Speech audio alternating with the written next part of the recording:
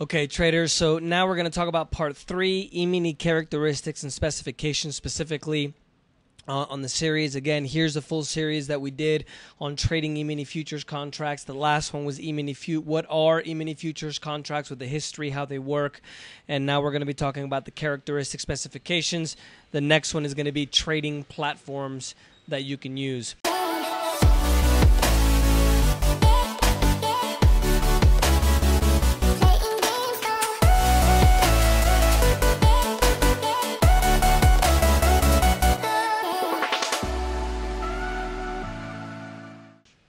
So uh, today, this is just what we're going to cover overall, right? Terminology, what contracts and ticks mean, uh, different contracts or the market to trade, and then the margins, which are very different than what you're accustomed to hearing about in terms of trading stocks or forex, which most of you, I think, probably trade forex or stocks. So whenever we consider in the futures world when we say contract it's like buying a share of stock or you know one position in forex. So if we say we're going to put one contract in it's like trading one lot right?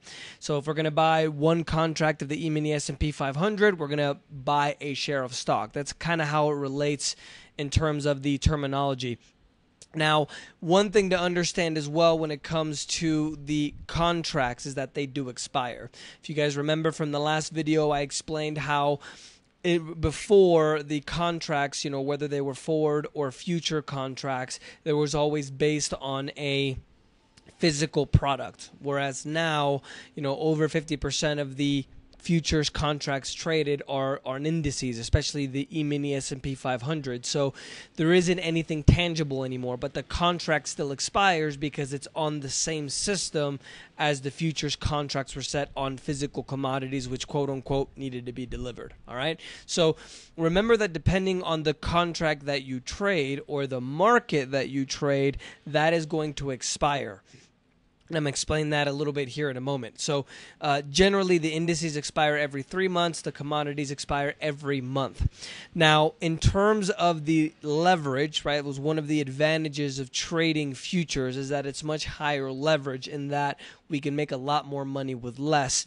Every dollar that the futures market moves in is between $50 to $5,000. And I'm going to go through the majority of the most popular markets. So, when we say points, we mean dollars, okay? And when we say ticks, we mean cents.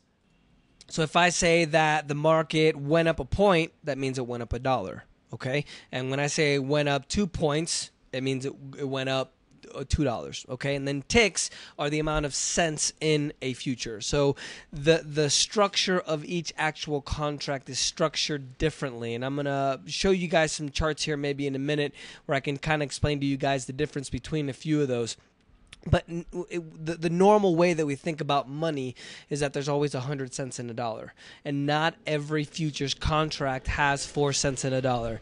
I don't know why they set it up this way you know thinking about how it should work. It probably should be 100 cents in every dollar but that's not the way it works. And i'll kind of go through that here in a second. So always remember when we say if we're going to buy a contract right? We bought one contract, that means we're going to buy one position or one share of stock, okay?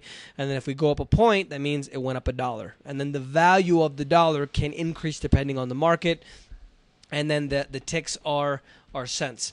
So just a quick recap, guys. If you guys didn't see the last video, the reason why they're called E minis is because E means all electronic, the mini means one fifth the size of the normal contract. Okay, so I wanted to just cover that. That's why they call them E-mini futures.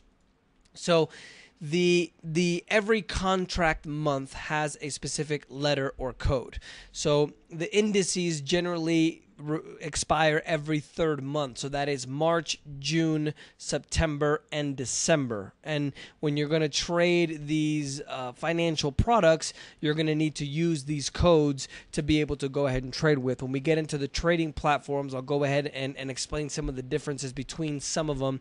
Some do make it a little bit easier for you and I since most of us are either brand new to trading or we don't know. We don't want to get into all this fancy kind of code that they that they speak to commodities like oil, gold, silver, palladium, platinum generally are going to be expire every month. And the reason why if you guys if you guys can hear my little puppy screaming somebody just came in, sorry about that. Generally, commodities expire every month because they need to be delivered, right? So keep that in mind. But these are the codes that you're going to use to trade those. There is one platform that uses the the, the month code, which I am going to recommend you guys use and I'll, I'll share that in the next video which is going to be part four of the trading platforms. So these are the different contracts or the different quote unquote markets to trade.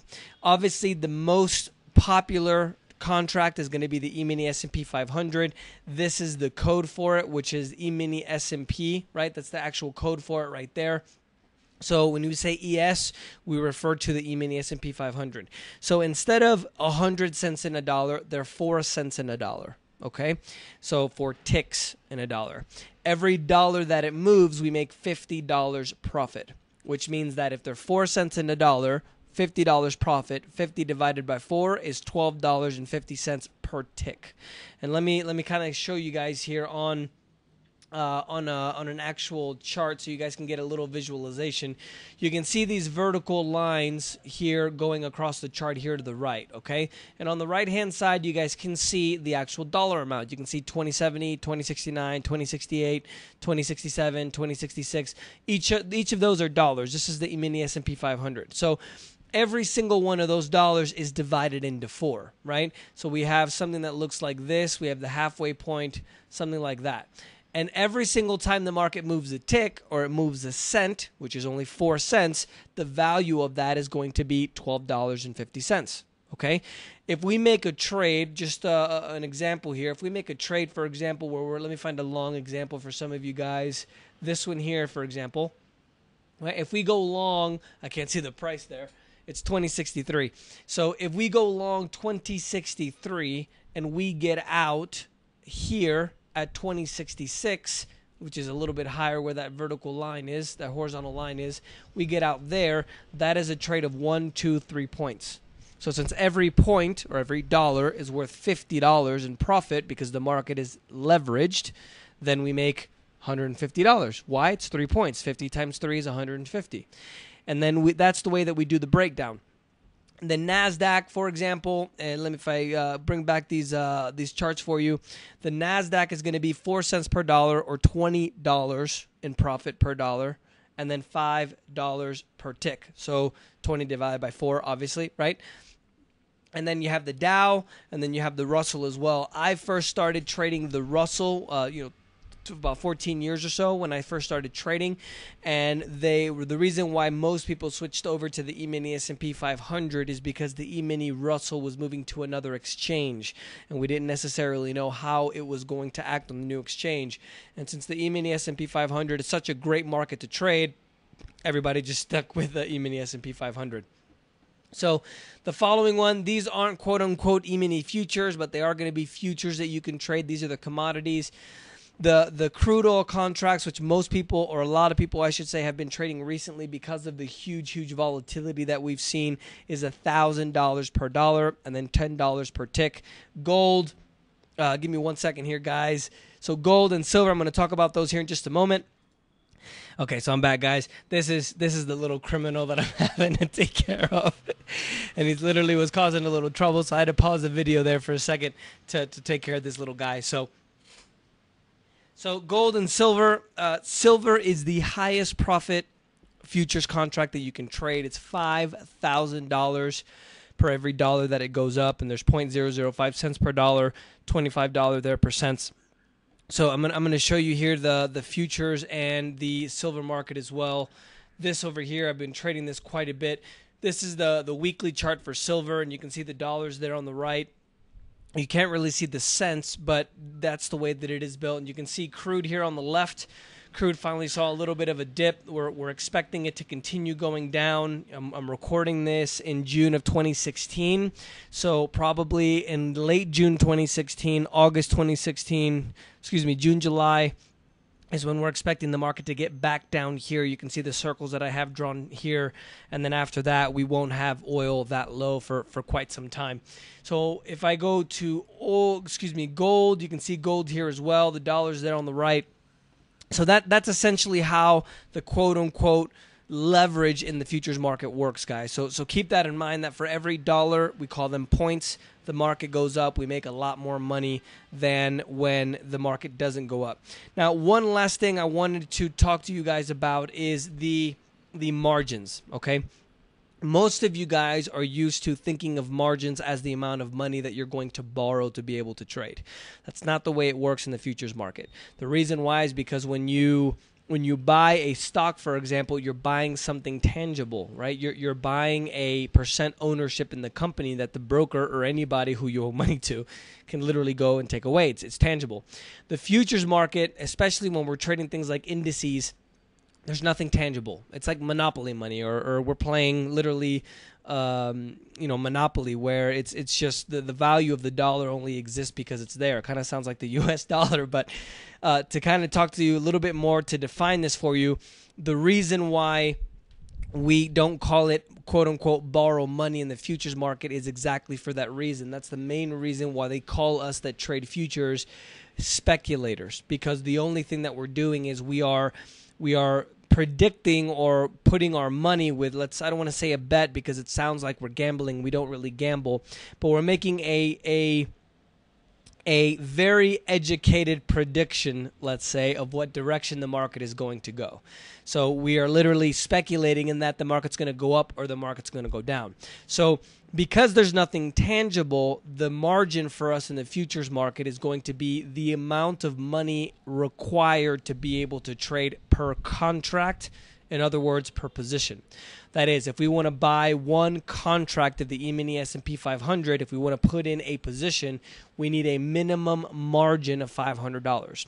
Now, there's going to be an intraday margin rate and there's going to be an overnight margin rate. And the reason why they're different is because obviously the risk level is a lot higher when you're holding a position overnight. For the E-mini S&P 500, you're looking at about $500 per uh, order in the E-mini S&P 500. So usually the minimum to open up accounts for the E-mini S&P 500 is going to be $1,000 and then whenever you put in a position that $500 is reserved until you get out of that position. And then obviously whenever you you know win money or lose money it, it automatically appears in your account whereas the overnight rate is going to be in the thousands. You know if i if i remember correctly crude is 3400 the e-mini s&p 500 if i'm not mistaken is 51 or 5200 so intraday means that you're you're opening you're putting a position the same day. You're not you're not closing it overnight. And remember that overnight means when the market closes not after 12 a.m so to speak okay overnight means that you're holding from one day to the other. Let's say you're holding three days, for example. So if you're going to put in a position and, and expect, for example, if I show you the market, we were able to talk uh, pretty good. We were able to, to predict a few of these dips that we saw in the market. You can see the current move down that we're getting. If you're going to go short here, okay, and we're going to expect the market to get down to here, all right. So if we're we're, we're going to make our our educated prediction. I don't want to say bet, but we're going to make our educated prediction that the market's going to go down, right? We need a minimum of the $5,000 or whatever the overnight margin is for your broker to be able to hold the position until it gets down here, which will be a few months from now, most likely right? Maybe six months or so. So that's that's te- that's how it works in terms of the the futures market guys. That's that's basically the terminology of how we call dollars and cents points and ticks. You know the the graphs that you can see on here are tick charts. I'm going to talk a little bit about that in the next videos when we talk about specific strategies so um, if you have any questions, let me know. You know, you can leave a comment here on YouTube or on the site. Don't forget to subscribe to our YouTube channel, guys. The next video is going to be on trading platforms. There's a handful of them out there. I'm going to recommend one for you guys to use, especially because it's a lot simpler to be able to use. So let me know if you guys have any questions. Again, don't forget to subscribe to YouTube, and we will talk to you soon, guys. Ciao.